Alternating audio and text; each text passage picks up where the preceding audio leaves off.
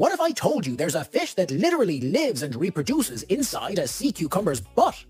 Yeah, you heard that right. It's not a myth, it's real. Meet the pearlfish, nature's most bizarre house guest. But why would a fish choose to live there? Protection, safety, a cozy hiding spot in the dangerous deep sea. The pearlfish slips in tail first during the day and sneaks out at night to hunt. But here's where it gets weirder. It doesn't just live there, it mates inside the sea cucumber too. It's like an Airbnb inside someone's intestines. And get this, if one pearlfish isn't enough, sometimes two or three squeeze in at once. What does the sea cucumber do about it? Absolutely nothing. It's the strangest roommate agreement in nature. Would you live in someone's butt for survival? Drop your thoughts below.